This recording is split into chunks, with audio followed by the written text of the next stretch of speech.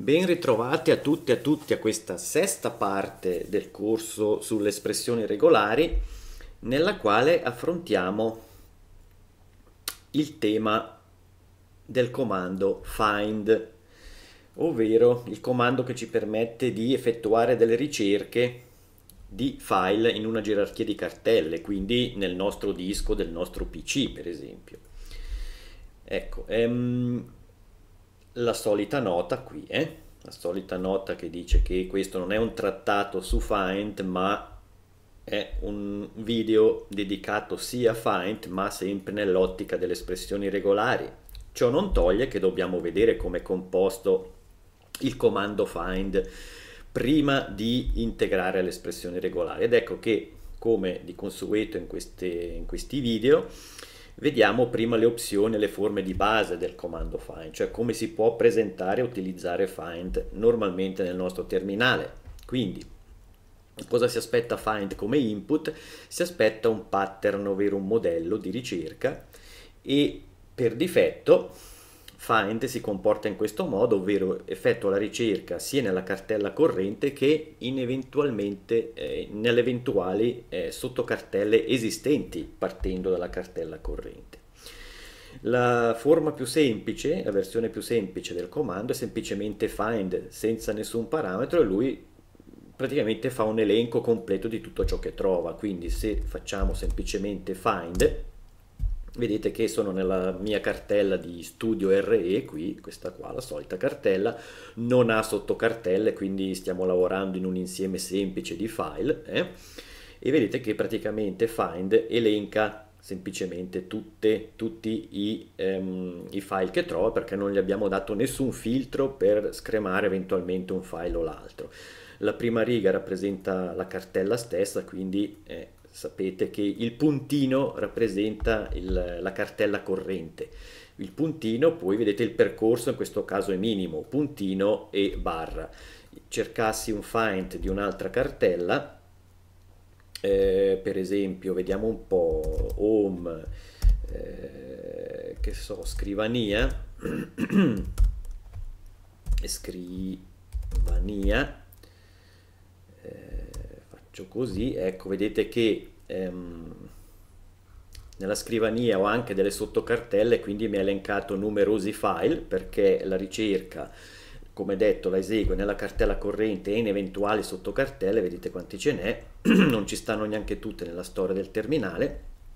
Fatto sta che qui vedete che ogni file è ehm, accompagnato, ecco questo è un po' più facile da leggere, accompagnato da tutto il percorso davanti. Ecco.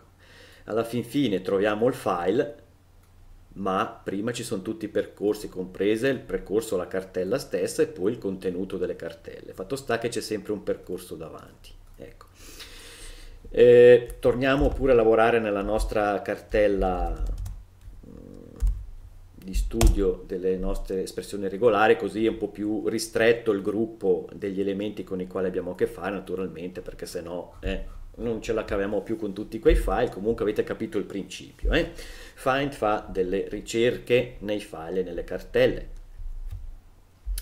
La ehm, versione più semplice, quello che abbiamo visto, la forma base del comando, quindi quella più completa, sarebbe find i il o i percorsi perché si possono indicare separati da spazi anche più percorsi eh? quindi io dopo, subito dopo find posso indicare una cartella poi spazio un altro, un altro, un'altra e lui fa le ricerche in tutte quelle cartelle e loro eventuali sottocartelle quindi i percorsi, poi le varie opzioni, espressioni e i pattern eccetera eccetera e poi opzionalmente anche delle azioni questa è proprio la forma completa di tutti gli elementi che compongono un comando find completo. Quindi abbiamo detto uno più percorsi per primo, poi le varie opzioni, espressioni o pattern, che possono essere anche le espressioni regolari qua, eh?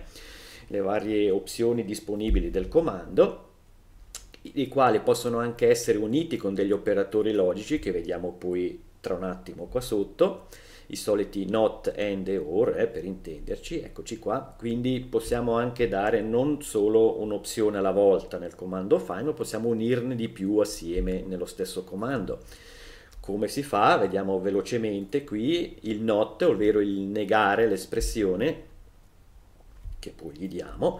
Per esempio, un tipico esempio è questo, facciamo un comando semplicissimo. Cosa dice questo comando? Cerca nella cartella corrente, quindi percorso, puntino, eh, ciò che non corrisponde come nome a un V minuscolo e asterisco, ovvero escludimi della tua ricerca tutti i file che iniziano per V minuscolo, praticamente se faccio enter vedete che rispetto a qua sopra dove abbiamo due file con la V minuscola all'inizio, eccoli qua, questi due, qui non li abbiamo più perché li abbiamo esclusi grazie al not, eh, l'operazione logica not quindi di negazione, quindi escludi not che cosa? Quelli con il nome che inizia così. Eh, c'è l'altra forma che il not è meno not oppure il solito, oserei dire a questo punto, punto esclamativo che sta proprio per la negazione, quindi la stessa forma del comando ma usando eh, il, il punto esclamativo.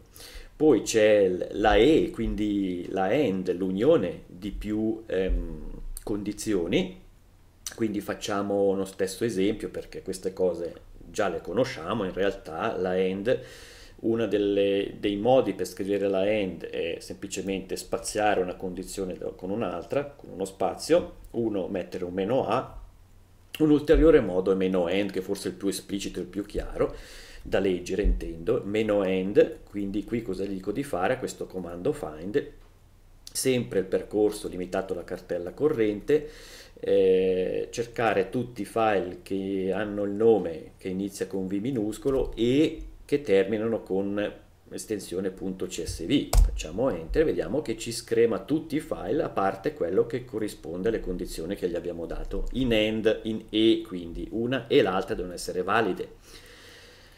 L'ultimo mm, operatore logico naturalmente è l'OR, l'oppure, e questo eh, possono essere uniti eh, le espressioni da un meno o come opzione oppure meno or. Anche qui facciamo un esempietto semplice, ancora sempre lavorando sul nome, eh, percorso sempre quello, gli diciamo ehm, elencami, trovami tutti i file che iniziano con V minuscolo oppure che, nel, eh, che inizino scusate, con il nome G maiuscolo, quindi ci mostra tutti quelli che iniziano con V minuscolo e quelli con G maiuscolo. Ecco, quindi avete visto molto semplice è eh? find ha tutte queste opzioni che permettono di eh, stabilire varie condizioni per trovare i nostri file nel nostro file system. Le azioni, che è l'ultimo punto che ho messo fra parentesi quadri perché sono opzionali, cioè non siamo obbligati come eh, per gli altri, gli altri moduli, gli altri componenti del comando find, non siamo obbligati ad indicare un'azione, possiamo o non possiamo indicarla, le azioni appunto, quindi le vediamo più avanti in questa scaletta, sono opzionali e servono a, a farci qualcosa sull'insieme dei file trovati, ovvero nei comandi che abbiamo usato finora abbiamo... Mh, mm, creato degli elenchi di file più o meno scremati a seconda delle condizioni, però non ci abbiamo fatto niente con questi file, li vediamo qui stampati a video. Grazie a queste azioni possiamo anche farci qualcosa, le vedremo appunto più avanti nella scaletta. Ehm, poi, le opzioni, ecco, qua nel, nella parte del comando find dove dico opzioni, espressioni, pattern eccetera eccetera, in quella zona lì Find mette a disposizione svariate opzioni per filtrare in modo più o meno raffinato i file, fra le quali qui ho messo nella scaletta un bel elenco, però ovviamente non le passeremo tutti a provarli, ecco perché poi il meccanismo è sempre quello, l'importante è il concetto, capire a cosa serve. L'opzione, tra l'altro una di queste opzioni è il meno name, nome che eh, agisce sul nome del file, eh, quella che abbiamo già usato qui negli esempi, è una di queste opzioni di cui vado a parlare adesso. Name, quindi molto intuitiva. Una di queste opzioni che potrebbe essere utile e interessante da conoscere è amin. Amin che ehm, permette di cercare, indicando il, il tempo, qui nel, come parametro n il tempo, permette di cercare, di cercare i file che sono stati acceduti n minuti fa, ovvero una forma tipo questa del comando. Adesso ovviamente non ci torna nulla questo comando, scusate che magari eh, ci metto magari anche il percorso, ecco il percorso davanti se lavoriamo nella cartella corrente mm, non è obbligatorio mettercelo, eh, però ricordatevi sempre che il comando find come forma prevede eventualmente di metterci il percorso qua davanti, però possiamo eseguirlo anche senza indicare il percorso e da per, eh, per difetto prende la cartella corrente. Ok, a min 15 non mi torna niente perché gli ho detto di cercare i file che sono stati acceduti eh, 15 eh, minuti fa tutti questi file che abbiamo in questa cartella sono più vecchi, li ho ceduti prima di 15 minuti fa, quindi non è il caso di trovare qualcosa.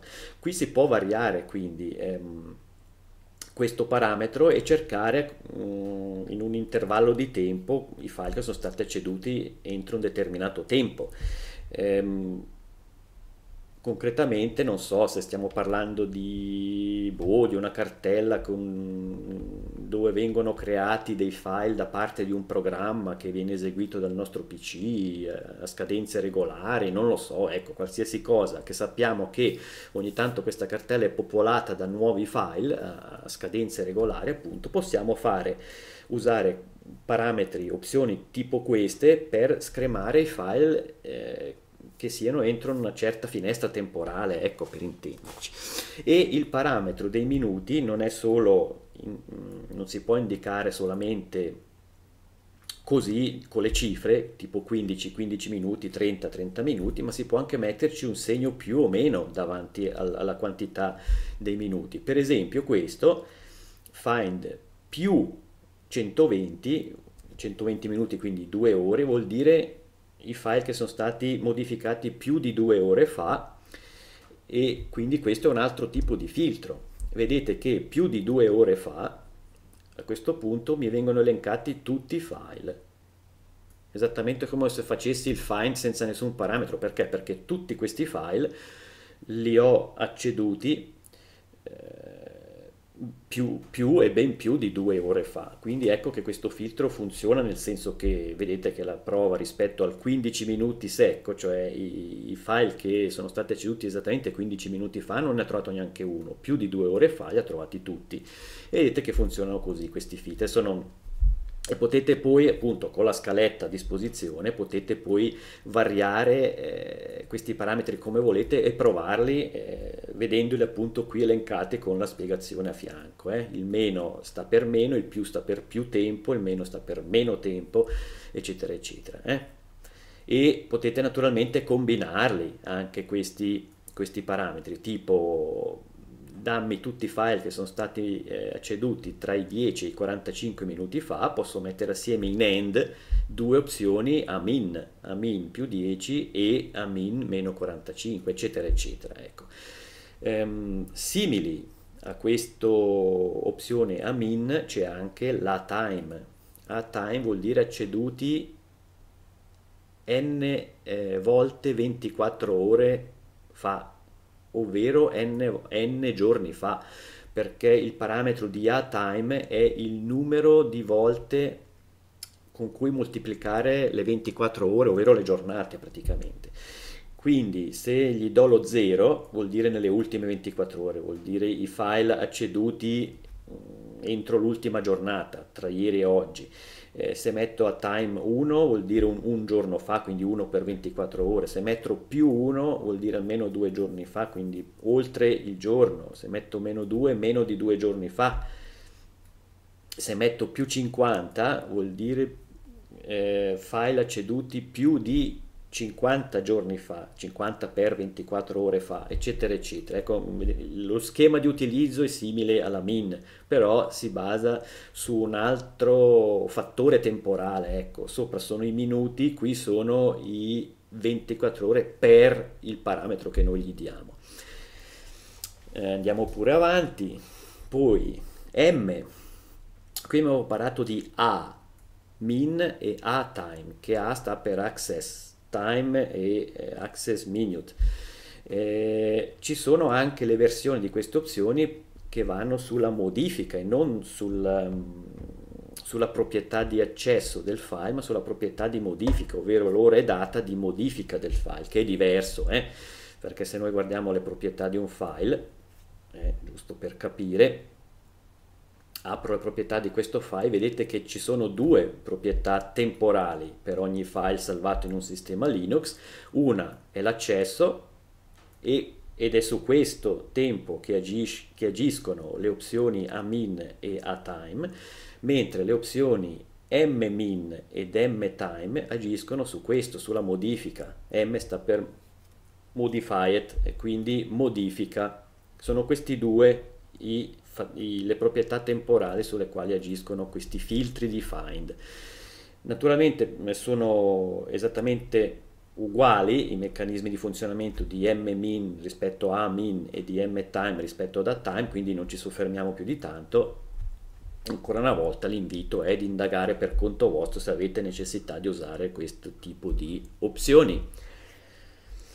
C'è um, un'ulteriore opzione che è a newer, quindi elenca i file acceduti più di recente rispetto a quando il file indicato è stato modificato, che è più complicato spiegarlo a parole che quello che fa effettivamente.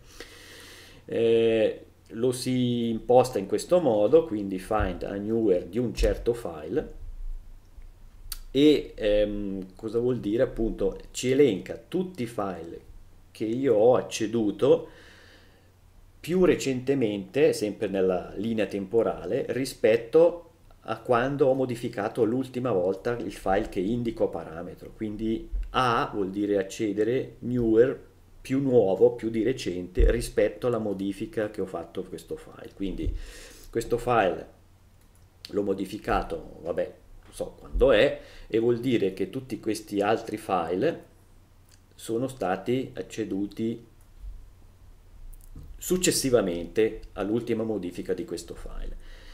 Eh, rispettivamente c'è il newer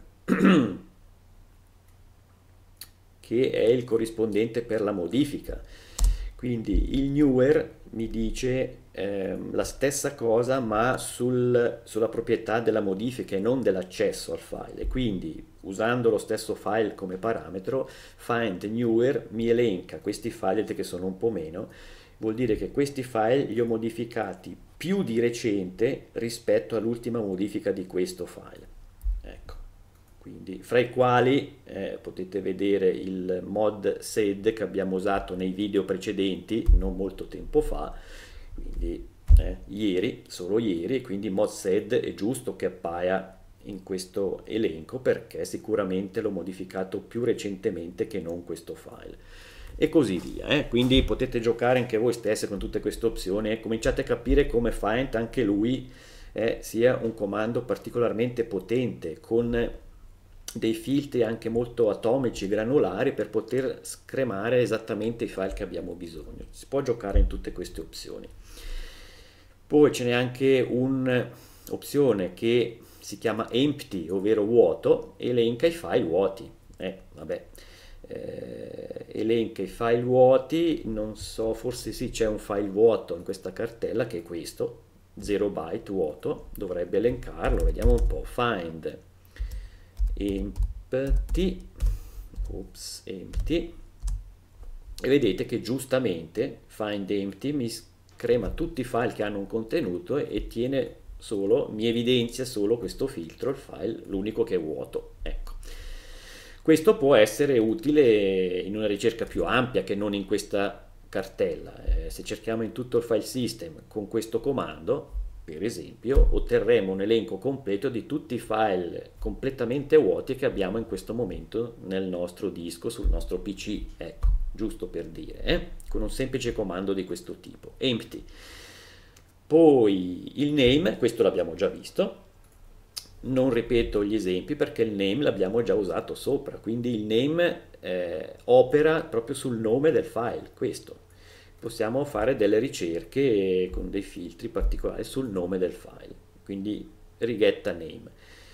Ci sono anche eh, possibilità di ricerche per eh, la grandezza, eh, grandezza del file con l'opzione meno size, elenca i file che occupano quel tal spazio di tipo C, cioè il parametro può essere indicato con un tipo di, di quantificatore, ehm, quindi il C sta per i byte, i K kilobyte, l'M i megabyte i G gigabyte, quindi se io uso un comando di questo tipo, dico di cercare tutti i file che hanno una grandezza di 248 C che sta per byte, quindi piccolini, e to, ne trovo uno, 248 byte, eccetera, eccetera. Poi tutti gli altri conseguono, si usa la K, rispettivamente la M, eccetera, eccetera, anche unendo, eh, unendoli assieme, eh, sempre anche con l'opzione più o meno. Eh.